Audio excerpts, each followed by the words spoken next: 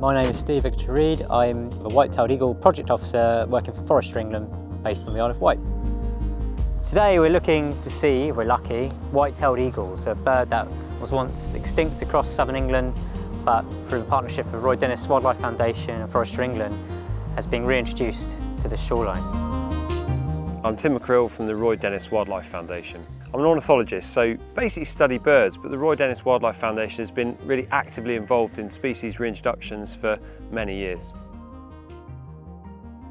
White-tailed eagle was once a common bird across the south coast of England and in fact across much of the country. But then like many birds of prey, historically it was persecuted and the last pair were actually on the Isle of Wight in 1780 project began in 2019 and we're aiming to release a total of 60 young white-tailed eagles on the Isle of Wight. And the idea with that is that we're hoping to establish a population of something like 8 to 10 pairs. The initial stage of the project is translocating young birds from Scotland. A team of really experienced people collect these young birds at about 7 to 10 weeks old and then they come to the Isle of Wight. We hold them in these special aviaries for a short period of time, about six weeks. It's a very quiet location. It's really important that they're undisturbed at that point. One of the critical points of a release is that we minimise human interactions as best we can. We provide food through a hatch and we just drop it off in the nest. All of our interactions are from behind a solid wall. It replicates how the birds at that age would receive food. Adult white-tailed eagle will come and drop food off in the nest and leave them to tear out themselves. We're able to monitor the birds remotely through this incredible CCTV camera system that we have throughout the release area. So it gives us a really good idea of how those birds are developing and we can spot any issues that might occur really early on.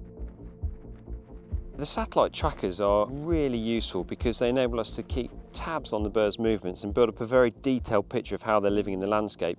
One of the key things is that they're fitted with these miniature solar panels, which means that while the birds are flying around in the summer, the batteries are continually charged. And these transmitters fit on the bird's back almost like a, a backpack. We can log the bird's location every minute and that gives us this minute by minute information on whether the bird's flying, whether it's perched. And so they're not only showing us where they are in the country, but they're also showing us how they're living in the landscape. So they show us that they might be perched for up to 90% of every day. They're showing us how far they're flying out to sea to catch fish. So thanks to these satellite transmitters, we're able to build up this really detailed picture of how they're living. The shallow waters around the coast of the Isle of Wight are rich in all kinds of marine life, fish like grey mullet and bass. There's also a, a really interesting organism that we didn't know would appear in white-tailed eagle diet until very recently, which is cuttlefish.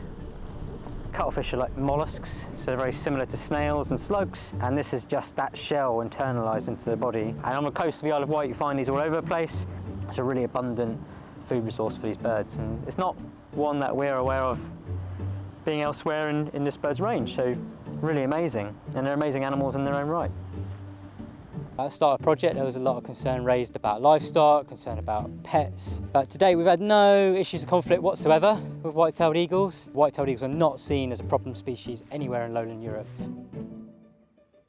We really hope that this initial population will become established, so we hope that 8 to 10 pairs will become established on the Isle of Wight and then within 50 kilometres of the release site, so at places like Poole Harbour, the Arun Valley in West Sussex, um, and then slowly but surely the white-tailed eagle should be able to spread out into other parts of England. We know that they can breed in inland areas near water, they can breed all along the coast, and what makes it special is that this is a bird that should be part of this landscape. This is a bird that we as humans have removed. So it's about undoing past wrongs and restoring a bird that should be a familiar part of the landscape. Already we're seeing that people have got a great sense of enjoyment out of seeing these birds back in the landscape and hopefully that's something that will continue for many years to come.